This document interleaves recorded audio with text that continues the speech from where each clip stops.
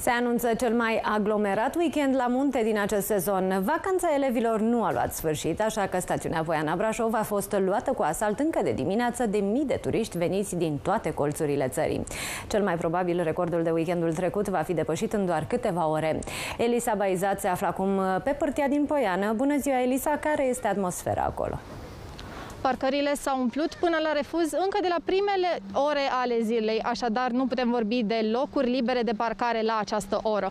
Turiștii au parcat care pe unde a putut, asta însemnând fie la marginea pădurii sau de ce nu pe uh, marginea drumului. Sunt mii de turiști la această oră și, într-adevăr, majoritatea dintre ei sunt părinți cu copii, care se bucură de ultimele zile de vacanță.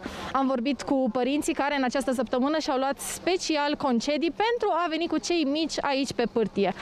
Și astăzi se va aștepta mult la cozile de la transportul pe cablu, însă este și o veste bună. Dacă în cursul zilei de ieri nu a putut să circule telecabina Capra Neagră din cauza vântului puternic, iată că astăzi este funcțională.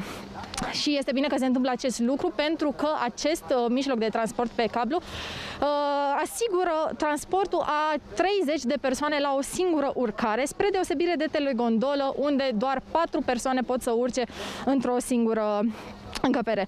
Și salvamontiștii sunt pe poziții, iar acolo unde va fi nevoie, aceștia cu siguranță vor interveni. Cât despre prețurile la cazări, este bine de știut că acestea au rămas neschimbate. O altă veste bună este că începând de această săptămână s-au deschis și restaurantele la interior în Brașov, însă din păcate doar la 30% din capacitate. Cine sunt turiștii veniți la Poiană și ce așteptări au ei de la acest sfârșit de săptămână, vorbim la știrile de la ora 18 la Focus.